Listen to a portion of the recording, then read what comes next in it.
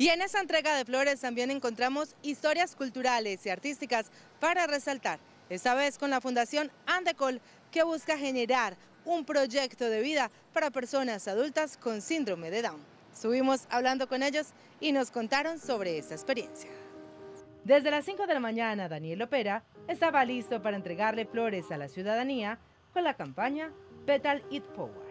Con una personalidad arrolladora, se acercó a cada una de las personas para explicarle desde su lenguaje particular por qué regalar flores es regalar amor. Las flores es como regalar amistad o amor, amor. Yo también quiero, yo, yo, yo para mí, de las flores es para dar una persona muy querida y no, a, mí me gusta mucho toda la gente, está muy contentos, hay de todo. Carolina también estuvo presente en esta actividad.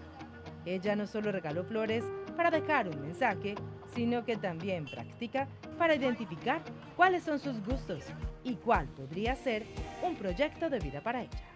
Me sentí muy bien, es la primera vez que entrego flores y quiero trabajar, quiero trabajar entregando flores a los demás.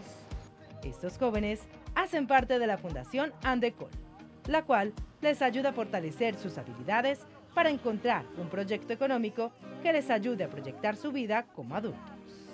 La idea es que con todo lo que hacemos también estamos promoviendo la construcción de una sociedad inclusiva, en donde todos podamos participar con base en nuestras capacidades y que no se nos cierren las puertas por ser diferentes. Una jornada llena de felicidad en la que ellos, más que nadie, lograron conectar con las personas para dejarles un mensaje claro. Y es que el amor no tiene límites físicos ni mentales. Toda la información de esta fundación sin ánimo de lucro está disponible en amicol.org.